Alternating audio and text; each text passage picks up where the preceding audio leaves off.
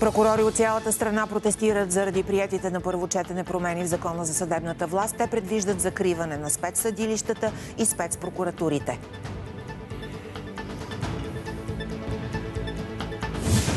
Българският външен министр и руският посланник на разговор във връзка с изнесените данни от прокуратурата за участие на руски граждани в четири взрива у нас и в опити за отравяне на трима българи.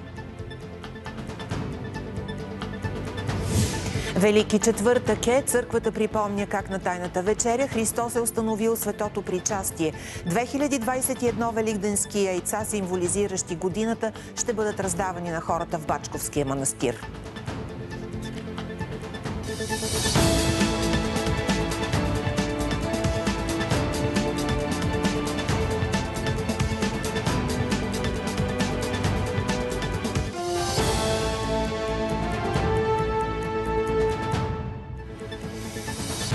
Това е посвета и у нас на обяд. Добър ден! Прокурори излязоха на мълчалив протест в големи градове на страната заради приятите на първо четене промени в закона за съдебната власт. Какви са причините за недоволството и какви са исканията им, ще научим от нашите репортери Кристиян Гаров, който е пред съдебната палата и Давид Сукнаров от Бургас. Първо към Кристиян. Здравейте, колеги! Тук протеста в столицата започна точно в 11 часа. Прокурори, следователи и магистрати се събраха на стълбите пред съдебната палата. Тук пристигна и главният прокурор Иван Гешев, който уточни обаче, че тук е в качеството си на гражданин, за да подкрепи своите колеги инициативата, която те поеха. Знаете, през вчерашния ден бяха прети в правната комисия промени в закона за съдебната власт, НПК и Конституцията. А иначе, прокурор Сей Камилева, говорителят на обвинител номер 1, определи законопромените като лобистки и за това, че с тях се цели да се разрушат едни работещи структури, като спецпрокуратурата, специализирания съд и ДАНС. Но чуйте още. Аз съм тук не като главен прокурор, а като прокурор и магистрат, за да подкрепя колегите си, които от друга страна са тук, за да демонстрират, че искат да защитават интересите на българските граждани и общество. Аз съм само по тази причина тук и в това си качество. И на следващото място ще ви кажа, че пожелавам на всички българи, днес е голям празник, а, Велики четвъртък, пожелавам на всички българи светли празници, повече любов, смирение и да не забравяме, че всички сме българи. Тук сме, защото според нас, по вътрешното ни усещане, върховенството на закона отново е в опасност. Тук сме заради обикновените български граждани, заради гражданското общество, защото то следва да бъде информирано. Мнозина от а, народните избранници а, влязаха в този парламент с лозунга за независимост на съдебната власт и върховенство на закона, а сме свидетели на едно брутално вмешателство в работата на съдебната власт.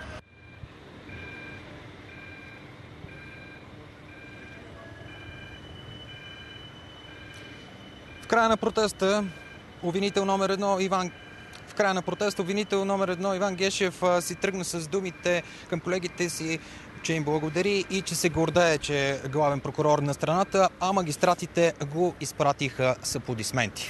Разбрахме, благодаря ти на, за включването. Сега да видим и какво стана на протестите в Бургас. Давид Сукнаров е на линията ни. Здравейте от Бургас. Тук пред съдебната палата в Морския град се събраха прокурори, следователи и служители от целият апелативен район, който включва и прокуратурите в Ямбол и Сливен. Според магистратите гласуваните промени на първо четене не съответства с Конституцията. Притеснени са и, че прокуратурата може да бъде извадена като цяло от съдебната система. Несъгласни са и с това Народното събрание да избира главния главният прокурор. По думите им още спецпрокуратурата и спецсъда са натрупали огромен опит с важни и тежки дела. Протест днес имаше и в Благоевград с протестно мълчание. Там магистратите подкрепиха своите колеги, не пожелаха обаче да коментират гласуваните промени. Протести днес имаше и в други градове в страната, в Варна, в Добрич, Силистра, в Разград и Шумен. Колеги, към вас. Благодаря и на теб за включването.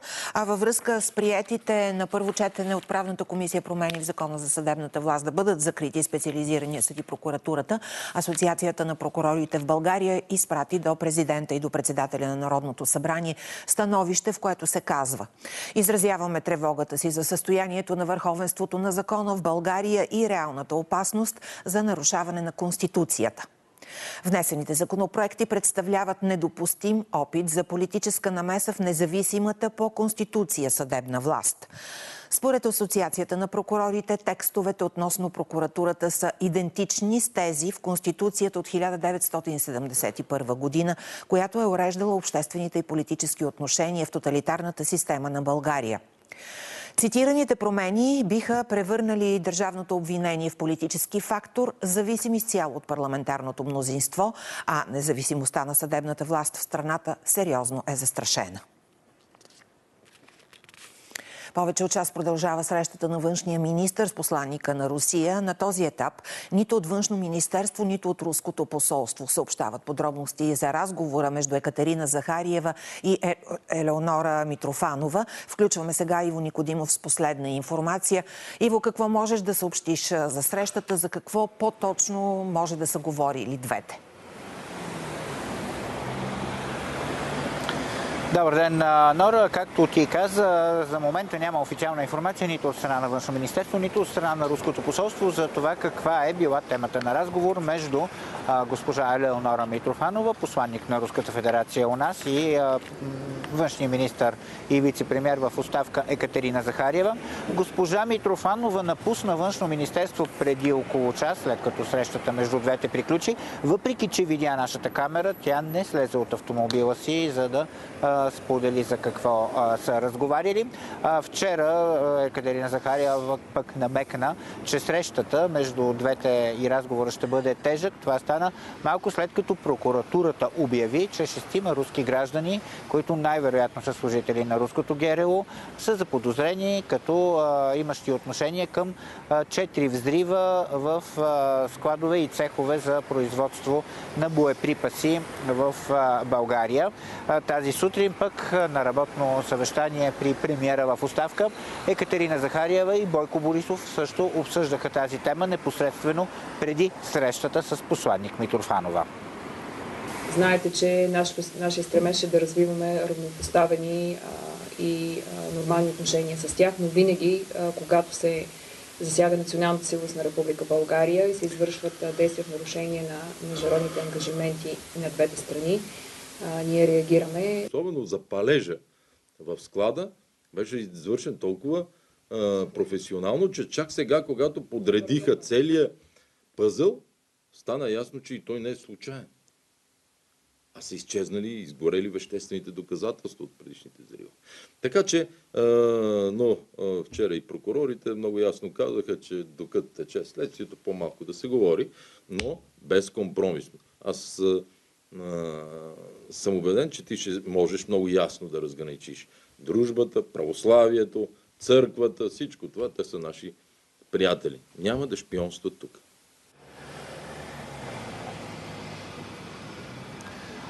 След като Чехия разкри, че руски граждани имат отношение към взривовете през есента на 2014 година в чешки склад за амуниции. Чехия изгони 18 руски дипломати.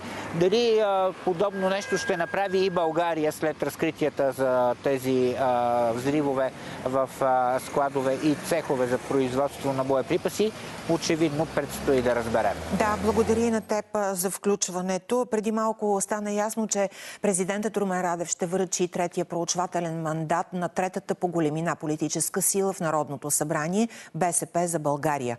Това ще стане в сряда, 5 май в 11 часа.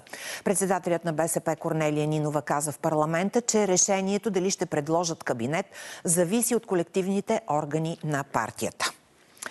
Секции в чужбина ще могат да се откриват при намален брой заявление. Народното събрание разглежда промените в изборния кодекс, след като вчера се споразумяха на председателски съвет за дневен ред от две точки.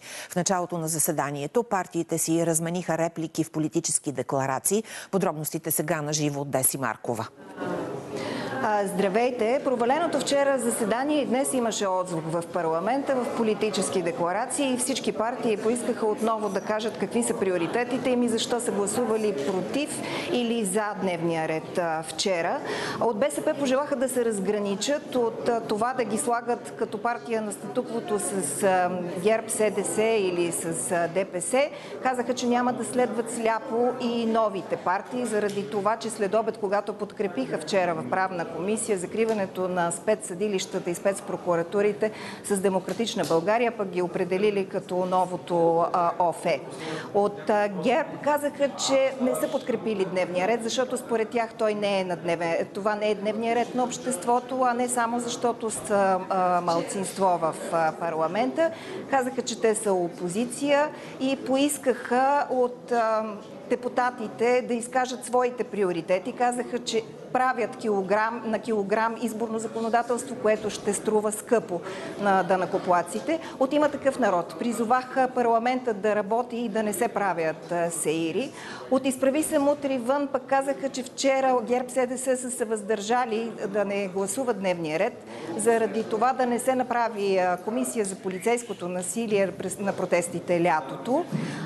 Отговори му бившият вътрешен министр Младен Маринов от Демократична България пък отново подчертаха и пожелаха и помолиха да бъдат подкрепени в това да бъдат закрити специализираните съдилища и прокуратура. Чуйте ги. Ние няма да следваме сляпо нито новите политически субекти в парламента, защото са си присвоили правото те да са промяната, нито ГЕРБ, защото те са олицетворение на задкулисието и модела, срещу който се борим 4 години, нито ДПС, които да смятат, че могат да дърпат конците, както те решат. БСП не сме празен чек, който всеки да ползва както намери за добре. Усещането ми е, че правите преврат. Правите преврат и с Изборния кодекс, и с закриването на Специализираната прокуратура и Специализирания съд. През Изборния кодекс Вие се опитвате да си увеличите процентите, като прехвърлите ЦИК към президента, който е кандидат-президент, пет месеца преди президентските избори. Не, не Ви ли е срам малко? Малко не Ви ли е срам от, от това, което правите? И питам и господин Радев, него не го ли е срам? Разбирам, че всичко това, което се случва, не Ви харесва. То ще продължава да не Ви харесва. Но за щастие ние не сме изпратени тук, за да правим това, което Ви харесва. Ще правим това, от което имат нужда българските граждани. Причината, поради която беше бламиран дневният ред от тях, причината, поради която той е тук сред нас, е това, че никой не иска, никой не иска от тях Временна комисия на Народното събрание, която да разследва защо еничарите на ГЕРБ биха, изтезаваха, задържаха, влачиха български граждани – деца, младежи, жени, възрастни хора. Защо? Винаги, особено Вие, използвате полицията, използвате Министерството на вътрешните работи за своите политически стремежи, за своята политическа алчност. И искам да Ви кажа, че закриването на тези съдилища и на тези прокуратури, ограничаването на безконтролността на главния прокурор, премахването на възможността на главния прокурор да използва Бюрото за защита на свидетелите като своя лична преторианска гвардия ще бъде подарък и за много от Вас. Момента продължава гледането на Изборния кодекс. До сега депутатите дебатираха най-много върху това дали а, да отпадне ограничението за секции в чужбина. Решиха в крайна сметка да бъде намален броя, изискването за броя на подали заявления за откриване на секция и така отпадна ограничението от 35 секции, което беше до сега. Възникна дебат заради това, БСП повдигна темата за това, че това предложение обслужва Движението за права и свободи.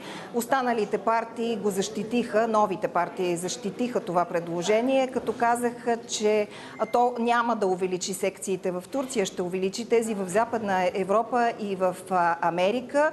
Чуйте ги какво си казах. Кого обслужва това предложение?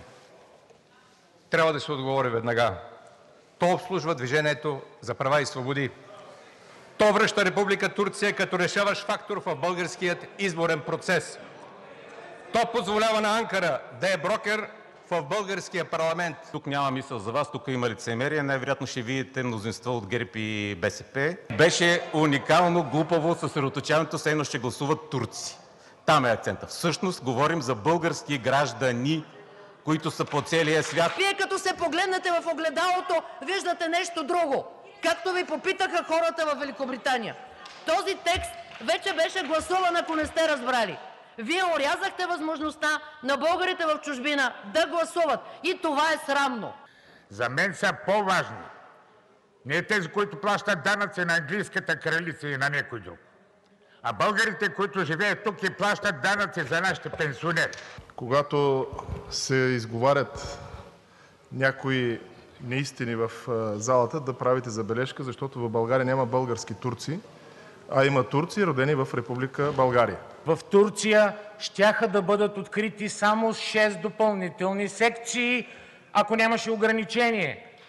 В Великобритания щяха да бъдат открити 53. Ако в някоя африканска страна ядат хора, как да гласуват българите? Какво ще им кажем? Ще им затворим секциите. Моля Ви, дръжте се отговорно спрямо България, а не спрямо собствените си фантасмагории. След като се разбра, че мандатът ще бъде връчен на, БСП, стана ясно, че днес след обед госпожа Нинова обяви, че днес след обед свиква изваредно изпълнително бюро на партията. Чуйте. Получихме покана от президента Радев да се явим на 5 май от 11 часа за третия мандат. Ще постъпим така, както сме ви казвали преди. Решението зависи от нашите колективни органи на партията. Днес в 3,30 свиквам извънредно заседание на Изпълнителното бюро, което да вземе решение за дата и час за свикване на Националния ни съвет, където да обсъдим ситуацията и да вземем решение как да постъпим с третия мандат. Какво ще се случи, предстои да видим, а ние оставаме да проследим до края изборния кодекс. А, благодаря ти, Деси. Обзор на работата и репликите от Народното събрание Десислава Маркова. Решението на Здравната комисия за стартиране на преговори с Русия за доставка на ваксината Спутник е незаконно. Това заяви здравният министр в оставка Костадин Ангелов на среща при премиера в оставка Бойко Борисов. На нея присъстваха и министри от кабинета. Костадин Ангелов обясни, че решението на Здравната парламентарна комисия за доставка на Спутник е незаконно, тъй като вакцината не е одобрена от Европейската агенция по лекарствата и не е лекарство, а добавка. Поставя в опасност а, а, живота и здравето на българските граждани, защото не е завършила оценката на нейната безопасност и ефикасност на европейско ниво. Така че за мен това решение не може да бъде изпълнено, защото е противозаконно. Когато Европейската агенция по лекарства я одобри, тогава ще поръчам. До тогава ние спазваме и българския, и европейските норми, правила и закони. Така че беззаконие, нека те да си вършат. Ние няма да го правим. Финансовият министр в оставка съобщи колко средства са изразходвани до момента заради пандемията. От началото на пандемията, която започна в началото на миналата година от COVID-19, до края на изварената епидемична установка, която беше продължена до 10 май, което означава касово разход юни, ще бъдат изразходвани 6 милиарда и 100 милиона лева за предотвратяване разпространението на COVID-19, лечението на българските граждани, както и за покриване на социално-економическите мерки на правителството. Социалният министр в оставка съобщи, че сме се върнали към нивата на безработица от преди кризата, която в момента е 6,7%. 300 хиляди работни места, както знаете, сме запазили. Платили сме до момента 1 милиард 148 милиона лева по мярката 60 на 40. А, около 168 милиона лева сме платили за секторите хотелиерство, ресторантьорство, транспорт и туризъм. Това е 80 на 20. 30 хиляди работни места там сме запазили. 62 милиона и половина са парите, които са платени за запазване на работата на 51 600 работници по мярката за пазиме. Министърът на економиката в оставка съобщи, че от 4 април до сега фирмите са подпомогнати с над 160 милиона лева. Засилен интерес има към процедурите, които са от Българска банка за развитие. За тези няколко седмици над 5000 физически лица, включително и самоосигуряващи се, са получили безлихвени кредити в размер на над 61 милиона лева. Освен това, фирмите, които сме интервенирали към тях, има още така голяма сума.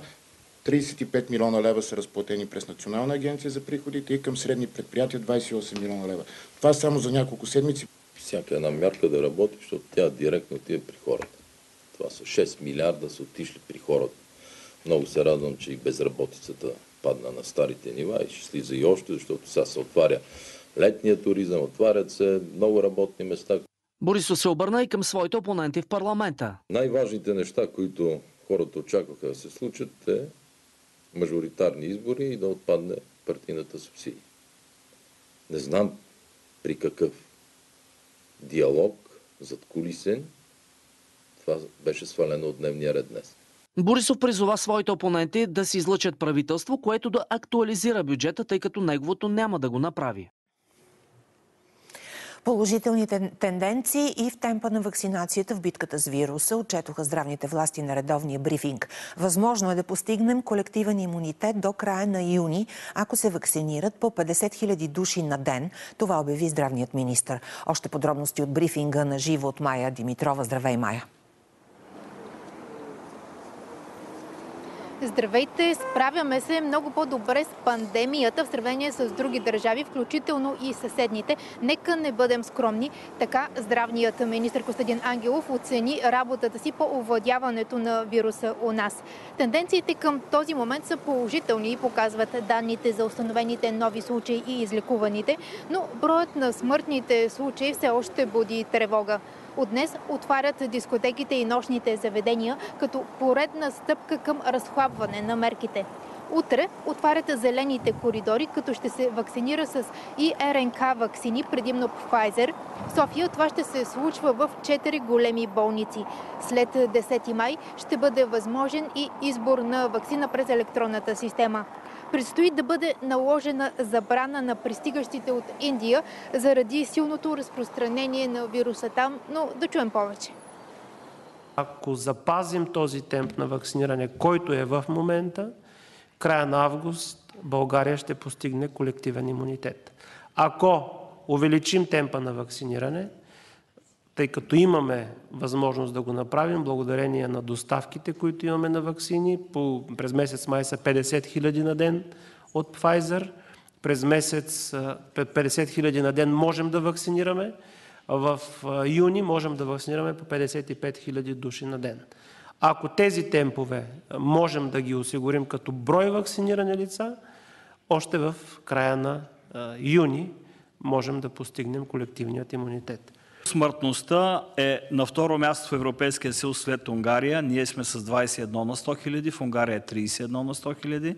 И трето място на Балканския полуостров след Босна и Херцеговина и Северна Македония.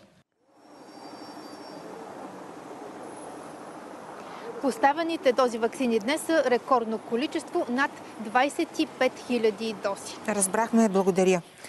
Европейският парламент предлага цифров, цифров вакцинационен сертификат да се нарича удостоверение на Европейския съюз за COVID-19 и да въжи една година. Според парламента, притежателите на удостоверението не следва да подлежат на допълнителни ограничения за пътуване, като карантина, самоизолация или тестване.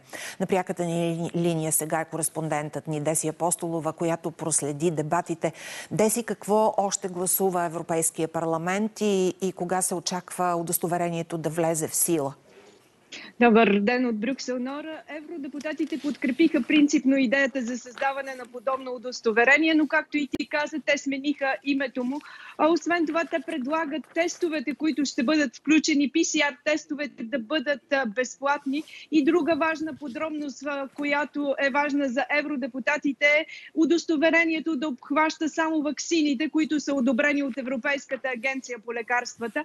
Това е поредната стъпка в приемането на това удостоверение. Сега започват преговорите с държавите членки, но надеждите са до началото на летния сезон то да стане факт.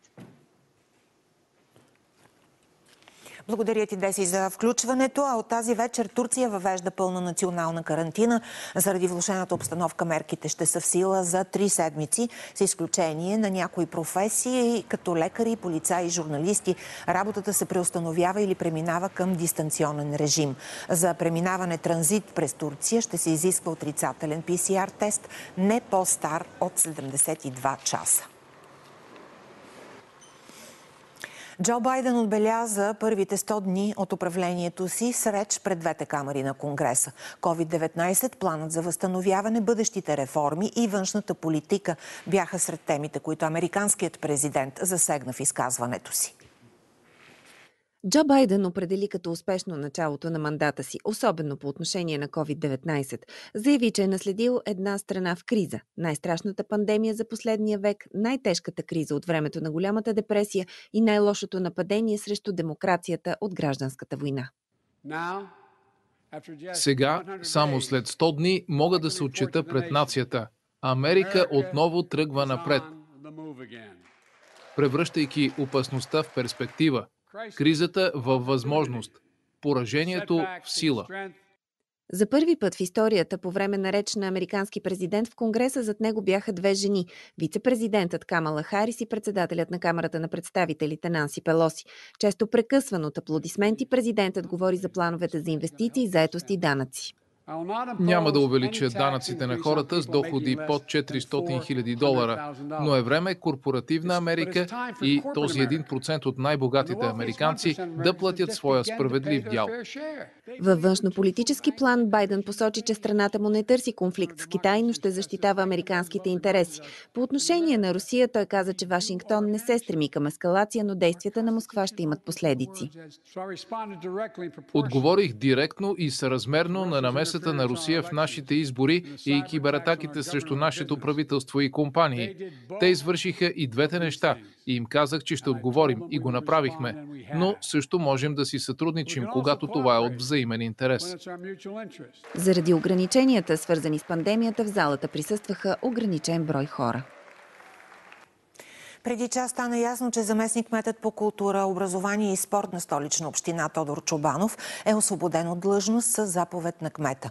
Пред журналист Йорданка Фандъкова обясни, че причината е забавянето на проекта за ремонт на банята в Овча купел. Сградата е паметник на културата и не работи от близо 20 години. Временно от длъжността заместник мет по култура и образование ще изпълнява Албена Атанасова. Днес е Велики четвъртък, денят в който православната църква с богослужение напомня за последните дни на Исус Христос. По традиция много вярващи, спазвали Великденския пост, се пречистяват на този ден. Сега от Бачковския манастир включваме нашият репортер Русица Колева. Там ще боядисват 2021 яйца като символ на годината. Предполагам, че е празнично. Роси, здравей! Здравейте от Бачковската света обител. Така е. За първи път от две години тук има толкова много посетители, защото си спомняте, че и предната година посрещахме Страстната седмица в условия на епидемия. Днес е Велики четвъртък. Православната църква си припомня за тайната вечеря, на която нашият Спасител Исус Христос споделя последни напътствия със своите ученици апостолите и пророкува своята смърт. Днес по време на тайната вечеря той установява и и таинството на светото причастие. Затова тези християни, които са спазвали поста днес, могат да се причастят. Днес си припомняме, че нашият Спасител е бил предаден и раснат на кръста, но като символ на живота и на възкресението по традиция се боядисват и яйца. Тук в Бачковската света обител яйцата са винаги червени, те съответстват на броя на годината. Тази година от ранни зори с помощта на доброволци тук се боядисват 2021 яйца. А, Честванията ще продължат и утре в петък, когато ще бъде изнесена плащаницата, а в втория ден на Велик ден от тук тръгва празнична лития до кловията с иконата на Божията майка. Всички мерки се спазват, за да не се допусне разпространение на заразата. А Роси Колева на живо от Бачковския манастир за Велики четвъртък. Още новини очаквайте в посвета у нас в 18. Останете с БНТ.